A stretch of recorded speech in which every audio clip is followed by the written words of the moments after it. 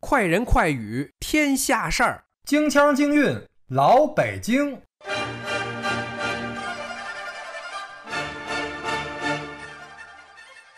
二十八，二十八，四中全会晚到家，姗姗来迟因何故？火拼内斗大搏杀，彭斯演讲再抡锤，特朗普的大实话雨点一般往下砸，中共罪行晒一遍，气得北京直磨牙。磨牙？您跑这睡觉来了？那叫气得直咬牙。哦，对对，咬牙。不过啊，都一回事儿。我睡觉时候就咬牙。嗨，哎呀，绕不开睡觉了，这位好做中国梦啊！行行行，赶紧醒醒吧！彭斯演讲已经开始了，甭提彭斯演讲了。大裤衩紧着在那和稀泥，崴脚步窜出春莹画的吗？嚯，一气儿骂了三张纸。党班看完乐开花，还是小话卖力气。这个月猪肉票，我给你发一沓。嗨，我说彭票二十二号演讲，春莹骂的那么卖力气呢，感情这挣肉票呢。打住，千万别提彭奥，这人比川普还脚牙啊！那二十二号那破演讲，我想起来就生气。华春莹呢，听我指挥啊，准备好口水，我喊一二三，你立马跳起来开骂。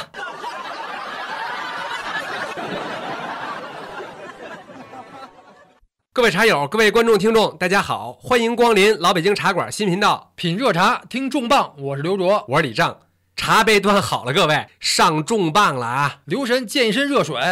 一年之后，美国副总统彭斯第二次就中美关系发表重磅讲话，这点儿赶的就够重磅的。谁都知道，美中正在着手准备第一阶段贸易文件的文本。二十五号的时候，美中贸易谈判代表就要举行电话会谈，讨论第一阶段协议所取得的进展。嗯。这是彭斯演讲第二天的事儿，当天还有事儿呢。就在彭斯演讲的二十四号那天，把时差往前推半天，史上最难产的四中全会日期终于产房传喜讯生了，准日子二十八号。没错，第十九届四中全会定于十月二十八号到三十一号。一说这四中全会，我这话又多。我查了一下，咱们上回节目说这四中全会啊，是第一百一十四期。对，这次正式宣布开会日期呢，咱们又做节目，都一百九十五期了，整差了九九八十一集。你就说这八十一集里边，党内宫廷大戏有多少明争暗斗、刀光剑影啊？行，就别回忆那过程了，眼前的糟心事还顾不过来呢。贸易战、香港问题，到如今都是个问号。又让你给说点儿了。这回彭斯又演讲，党这心脏都提到嗓子眼儿了。嗯，心说话，我这憋了一年多，好不容易憋出一四中全会，您偏会前演讲添堵，您倒是等开完了再讲啊！嗨，这党心里没底，人家彭斯这演讲也已经是延期举行了。不过我发现一事儿，李正，嗯，你还真别说，中共这扛骂能力确实增强了。这话怎么说？二十五号，央视大裤衩发表的国际锐评调门明显低多了。嗯，这一边说呢，彭斯此番演讲基本是老调重弹，继续打着自由民主的旗号对中国进行无端指责；一边呢又说整体基调有所缓和。嗯，脸皮上那保护层又厚了。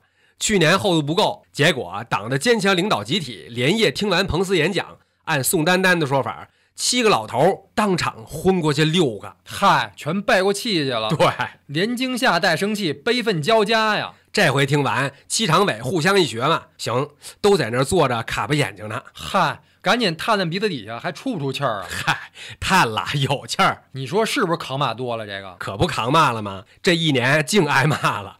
不过另外，你也别被大裤衩那调门给迷惑了，刘主。怎么了？大裤衩说美国缓和，那是说给老百姓听的。告诉吃瓜群众们，别以为美国给你们这帮韭菜屁民撑腰，我党就给你什么民主自由。美国现在骂我党调门温和多了，这足以证明，呃，厉害了我的国。嗨，没骂他狗血喷头，就算夸奖他了。对，党这身皮子真够紧的。不过按大裤衩的说法，崴脚部那帮战狼没地儿发挥去了。怎么了？人家都缓和了呀，咱也不好跳脚吐口水啊。哪儿啊？话他妈都骂了三张纸了啊！真的假的呀？这还有掺假？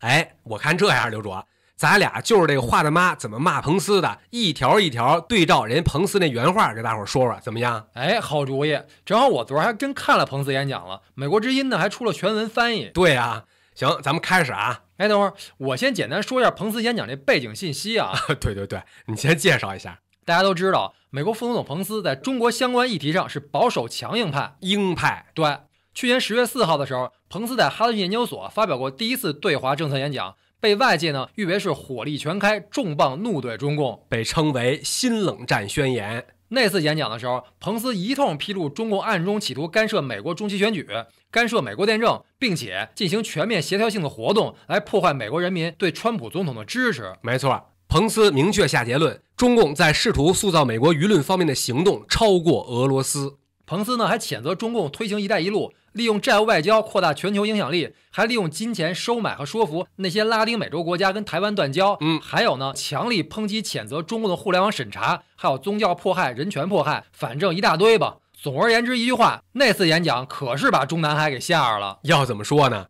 彭斯要进行第二次演讲，这习近平能不冒汗吗？四中全会到现在能开成什么样，还是个悬案呢？怎么接招啊？这个？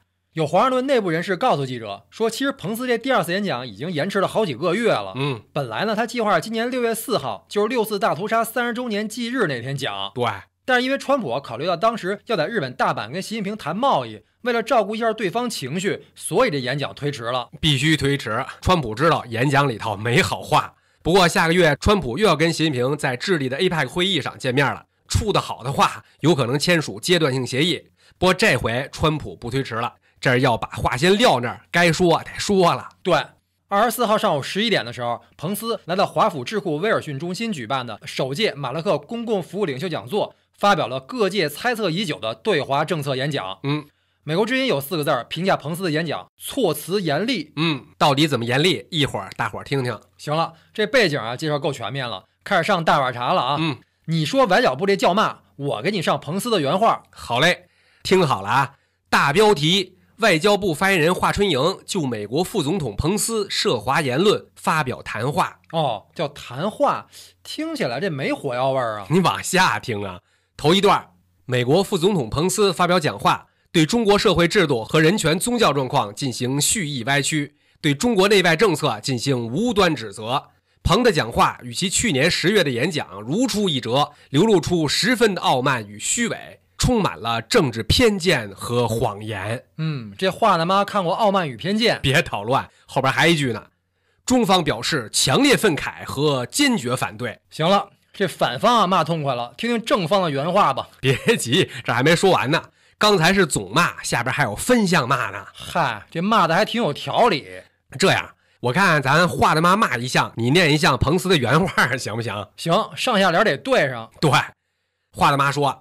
中国人权状况好不好？最重要的判断标准是中国人民是否满意。中国的发展日新月异，中国人民的幸福感和获得感越来越强。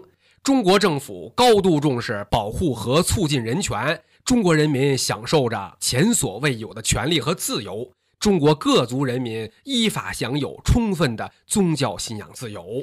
哎，我这听着都欢欣鼓舞了呀，挺有效果啊。听彭四这下联 啊，嗯，这么说的。今天，中国共产党正在建设一个前所未有的监控国家，数以亿计的监控摄像头从各个角度拍摄老百姓。少数民族必须接受随意设置的检查站的检查，警察对他们采血样、提取指纹、录音，还进行多角度头部拍摄，甚至眼虹膜扫描。这些工具不仅在新疆等地部署，而且还输出到非洲、拉丁美洲和中东国家。嗯。中国数百万少数民族和宗教少数群体一直在抵制共产党根除他们宗教文化的做法。中共政府逮捕基督教牧师，禁止销售圣经，拆毁教堂，监禁了一百多万维吾尔穆斯林。因为上述原因，我们追究了北京的责任。上个月，特朗普总统对一些中共官员实施签证限制，还对中共二十个公安部门和八家企业实施制裁，惩罚他们迫害少数民族信仰群体的罪行。华大妈表示。需要猛眨眼以及翻白眼儿，留神翻成白眼女战狼啊！行，说台湾香港问题，先说华春莹华大妈怎么说的啊？华大妈说，绝不允许任何外部势力干涉台湾、香港等问题。以彭斯为首的一小撮美国政客对这些问题上颠倒黑白、说三道四、造谣污蔑，但是乌云挡不住太阳，谎言盖不住真相。中国人民不信邪，不怕邪。任何给中方栽污名、泼脏水的图谋，注定都是痴心妄想，必将被历史所唾弃。嚯，最后还吐口吐吗？唾弃 不吐唾吗？这恶气出不来呀！听听彭斯原话啊，嗯，我们支持台湾，捍卫其来之不易的自由。本届政府批准了更多的对台军售，并且承认台湾是主要贸易经济体和中华文化与民主的灯塔之一。您听听，彭斯还懂得保护中华传统文化呢。可不嘛，彭斯还说了，我们的政府会信守一个中国政策，包括三项联合公报和台湾关系法。但是必须看到，在过去一年里，中共通过金钱外交，诱使两个国家跟台北断交，跟北京建交，向台湾民主施压。国际社会永远不要忘记，跟台湾接触不是威胁和平，而是保护台湾和整个地区的和平。美国始终相信，拥抱民主的台湾向所有中国人展示了一条更好的道路。党就怕最后这句，老显摆台湾的民主自由，勾这帮吃瓜的，这闹心不闹心啊？听着啊，亮点来了，香港问题。彭斯在香港问题上说的最多，给我们念念。嗯，彭斯说呢，在数百万民众走上街头和平抗议之际，我们为香港民众发声。特朗普总统很早就明确表示，必须要有尊重港人权利的和平解决方案。这些权利是一九八四年中英联合声明所承诺的。又提那过期作废的历史文献。然而，过去一年来，没有什么比香港的动荡更能反映出中国共产党对自由的反感了。我重复一句啊。没有什么比香港的动荡更能反映出中国共产党对自由的反感了。大伙儿没事的时候好好品品这句话吧。往下听，一百五十年来，香港一直是中国和外部世界之间的一个重要门户。香港是世界最自由的经济体之一，有着稳固独立的法律机制、活跃的自由媒体，几十万外国居民在香港安居乐业。香港是一个活生生的例子，告诉世界，如果中国拥抱自由，将有多么的繁荣。然而，过去几年，北京加大了对香港的干预，采取了遏制港人权利和自由的行动。这些权利和自由本是当初订立“一国两制”时国际协议所保障的。又说那历史文献呢？特朗普总统已经说得很清楚：美国支持自由，我们尊重各国的主权，但是美国期待北京信守承诺。特朗普总统一再表示，如果中共当局暴力对付香港抗议者，就很难达成贸易协议。自从总统表态以后，我高兴地看到香港当局已经撤回了逃犯条例，北京也展示了一些克制。万不得已的权宜之计，后边还有秋后算账呢。彭斯最后就说，在今后的日子里，我可以向你们保证，美国会继续敦促中共保持克制，信守承诺，尊重香港人民。过去几个月一直在和平抗争来捍卫自身权利的香港人，美国与你们同在，你们鼓舞了我们，希望你们继续坚持非暴力抗争的道路。几百万美国人在为你们祈祷，对你们表示由衷敬佩。嗯，真看出来了，自由绝对是美国精神的灵魂。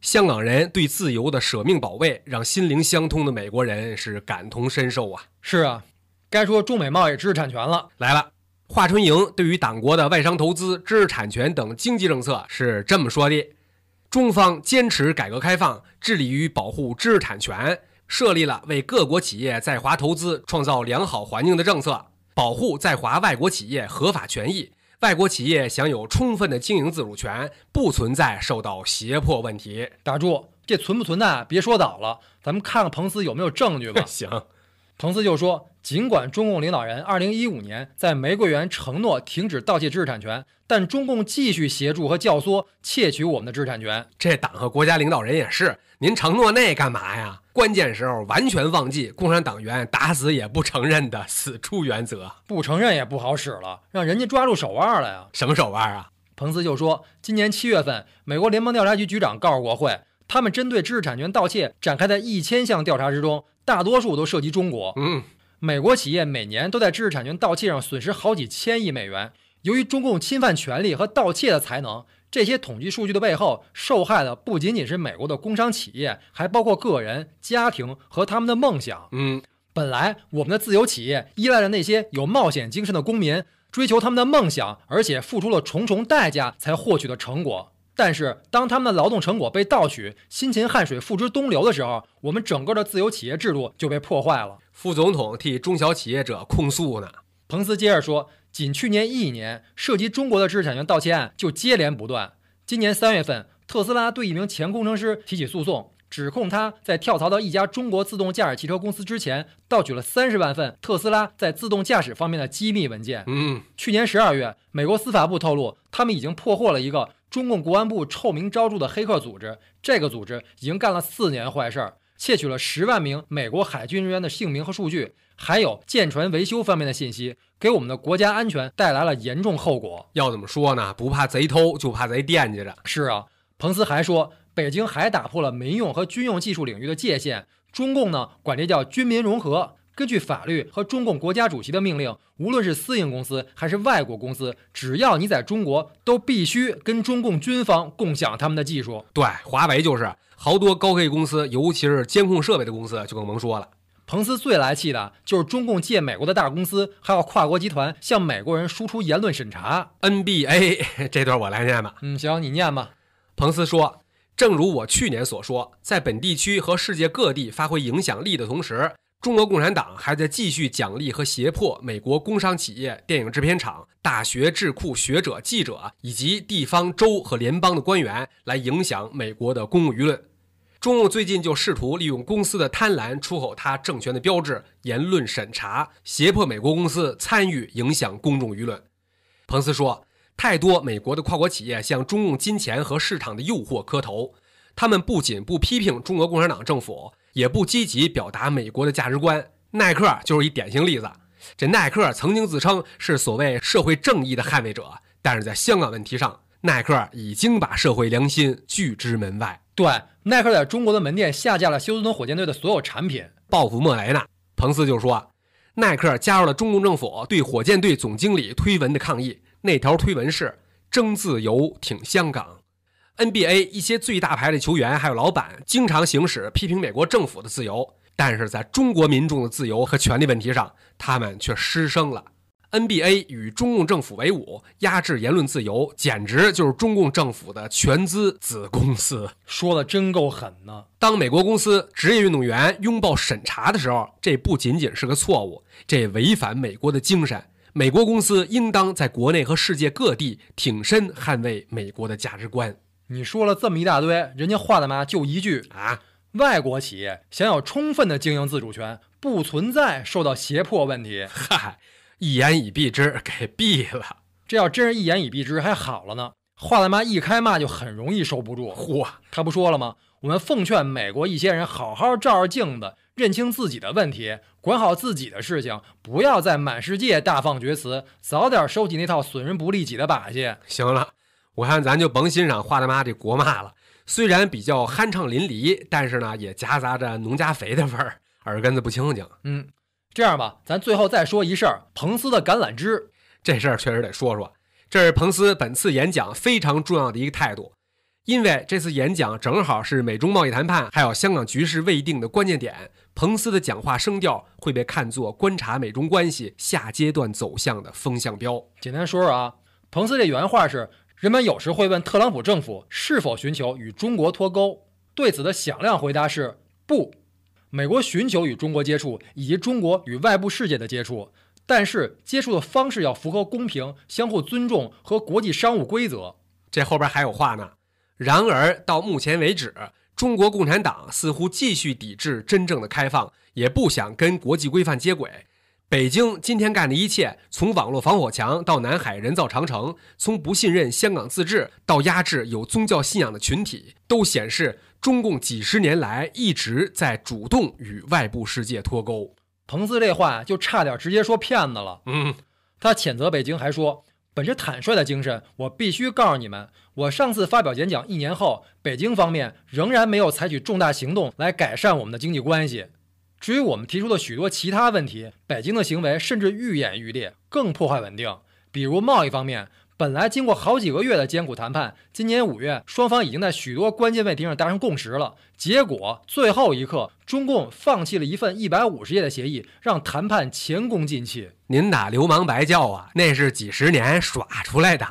彭斯接着还说，尽管中共承诺打击芬太尼和其他合成类药物，但事实是。这些致命药物依然源源不断地涌入美国，每个月夺走成千上万美国人的生命。嗯，这可是当初习近平在饭桌上亲口答应川普严查的。彭斯还说，北京的经济和战略行为，还有影响美国公众舆论的企图，都印证了我一年之前所说的话。这话今天仍然准确。中共希望管理美国的是另外一位总统，这反过来证明了特朗普总统的领导正在奏效。现在的事实是，美国的经济实力与日俱增。中国的经济正在付出代价，向各位保证，本届政府不会退缩。够直率，也是跟骗子流氓也甭兜圈子了。不过彭斯这次跟川普采用了一打法，重拳之后依然循循善诱，给对方留出足够机会。彭斯就说：“虽然说了上面那些话，但是总统已经明确表示，美国不是要跟中国对抗，我们寻求的是公平竞争的环境、开放的市场、公平的贸易，还有对方尊重我们的价值观。我们没想遏制中国发展，我们希望和中国领导人有建设性的关系，就像我们和中国的人民在几代人的时间里享有的关系一样。如果中国迈步向前，抓住这独特的历史机会，重新开始。”停止那些一直占美国人便宜的贸易行为。我知道特朗普总统已经准备好和中国开启新的未来。咱说了这么一大堆，但理理彭斯这橄榄枝有几个意思啊？嗯，第一，美国的目的不是让中国完蛋，相反是希望中国人好。美国不会拒绝和中方合作，但是中共必须改变。不过彭斯也是提了醒了，这么说的：美国人民和美国当局一定会保持决心。本着对所有人的善意和容忍精神，捍卫我们的利益，捍卫我们的价值观。第二，彭斯说，川普总统和习近平建立了牢固的个人关系，继续寻找加强两国关系以改善两国人民交流和沟通的方法。插一句，彭斯专门提到，我们将继续通过教育、旅行和文化交流，在两国人民之间建立纽带。您听清楚没有？这是辟谣呢，我们可没说对中国大陆的留学生关闭大门。第三，美国正在向中方伸出橄榄枝，希望北京在不久的未来将以行动而不是口头承诺，对美国再次表示尊重，并向前迈进。不知道茶友们注意没有？这彭斯的演讲有个弦外之音，跟这个世界格格不入的是中共，跟美国脱钩的也是中共。什么时候中共学会了尊重美国，学会了在自由对等的基础上跟美国打交道，跟世界打交道，美中关系自然走向良性发展。彭斯在演讲中啊还说了这段话：中共绝不能低估爱好自由的美国人的韧性，还有美国总统的决心。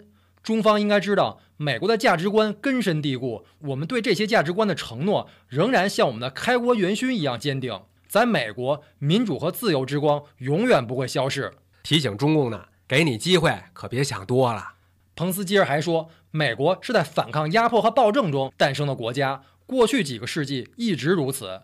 美国人相信造物主赋予人们不可剥夺的权利，生命、自由和追求幸福，没有任何东西能改变这些信念。彭斯最后说：“我们相信一切都有上天的安排。”听完彭斯如此至诚和慷慨的演讲，呃，抱歉，我有一个不太乐观的预感：美国伸出的橄榄枝，中共接不住。你可别瞎预言啊！回头人家真接住了，咱们砸牌子。嗨，没那么严重。不是说今年十一月份川西会的具体结果，我是说长远的结果。长远结果，这怎么长远法啊？咱们老辈人不说吗？三岁看大，七岁看老。共产党打一出现就是流氓无赖起家，七十年打砸抢杀，忽悠欺骗，一贯如此。这位都七十岁了，您还巴望他改脾气从良，可能吗？这倒也是，有那句话跟那儿呢：好良言难劝该死鬼。就是啊。当然了，彭斯这些话，中国老百姓要是有机会看到，倒是好多人能听得懂。不信你细品品，彭斯说那些狠话硬话，没有一句是说给中国老百姓听的，全冲共产党说的。对啊，而且彭斯对中国民众的态度尤其亲善，大概其应该是对享受不到自由的人的同情和爱护吧。反正我这脑子里吧一直想你说那句“中共接不住橄榄枝”呢。其实今年五月份不就是吗？当时要是这共产党不耍赖，直接把协议签了，还至于像现在这么捉襟见肘吗？但凡有一转机，也得被自个儿给葬送了。调门喊那么高，自己给自己搭梯子，玩命上纲上线，弄得跟宇宙无敌大将军似的，拔得忒高，吹得忒狠，欠债呢又忒多，跟事实反差又忒大，最后下不来了。对，香港问题就是这么发展的。所有机会，林正一直在亲手葬送，一直到一败涂地。彭斯讲话有温和一面，这是没错，但是那是自由世界的川普政府看在被绑架了的中国人的面子上，给中共这个政权以改过的机会。对，这就等于说，看在中国老百姓面子上，我再拿你当回人吧。你要是识时务呢，就给脸要脸，就是那意思。但是自由世界再给机会，架不住这愚蠢猖狂的共产党不要机会，还拿对方给的机会耍着玩呢。不把这川普彻底激怒不算完。什么时候美国把橄榄枝缩回去，中共什么时候停止折腾？嗯，所以咱们就看着吧。共产党演那一出一屁俩谎戏码，什么时候穿帮？共产党不一天到晚盼着美国明年大选，民主党那大佬拜登上台吗？我看报道说，六月份的时候，拜登狠批中共的贸易政策和军事举动，说美国一定要对中共强硬。反共这事儿都成美国政客的政治正确了，连亲共亲了多少年的老朋友拜登都变了，打阿不哭晕在厕所才怪呢。现在反共绝对是美国政界的共识。彭斯讲话这算客气的了。二十二号就在彭斯演讲前两天，国务卿蓬佩奥在华府保守党会议上发表演讲，痛批中共的高压和贪腐治国。包括在香港“一国两制”还有南海问题上食言，蓬佩奥还说了一句特扎心的话，说中共充其量就是拿高压胁迫和贪污当治国工具的竞争对手。精辟的总结，不光精辟，还精准呢，一刀命中党人心脏了，还真是。蓬佩奥还说，对于来自中共的威胁，美国现在已经看得非常清楚，希望欧洲还有其他国家也能看清楚。川普政府努力彰显追求民主自由的决心。这跟中共的价值观形成最大对比，中共试图输出完全相反的意识形态，NBA 事件就是典型例子。蓬佩奥当天在哈德逊研究所播客平台上说的更直接，他说：“中国共产党的核心问题就是一贯破坏承诺。共产党这回就认栽了。白宫这两大员，彭斯、蓬佩奥，态度代表的都是川普。上个月联大开会，川普演讲调门都定了，说过去一百年，社会主义和共产主义杀死了一亿人。”他们绝不是正义的化身，既不能创造平等，也不能解除贫困，更不是为了国家利益。他们的目的只有一个：统治阶级的权利。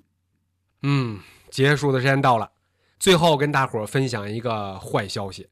二十三号，英国发现的卡车集装箱里头那三十九具尸体。周五，BBC 说，警方已经查明死者生前都是中国公民。嗯，但是我看最新消息了，也有个别的是越南人。最后，准确的国籍构成，这还得等警方的通报。哎，这是特别让人悲伤的一消息。当地时间二十三号凌晨一点四十，英国警方打开一辆停靠在埃塞克斯郡工业区的集装箱卡车后门，他们被眼前的一幕给惊呆了。集装箱里边躺着三十九个人，三十一男八女，其中甚至还有一个小男孩。但是所有的人都已经停止了呼吸。警方说，卡车司机二十五岁的北爱尔兰人罗宾逊已经被捕，正在接受审讯。至于受害者什么时候从哪儿进的集装箱，死因是窒息还是低温等等，都要等待警方的调查结果。嗯，好多人应该都记着，两千年六月份的时候，英国发生了另外一个惨案。嗯，当时呢，英国口岸当局在一辆从德福港入境英国的集装箱卡车上，发现了五十八个中国偷渡客的尸体，仅有两个人生还。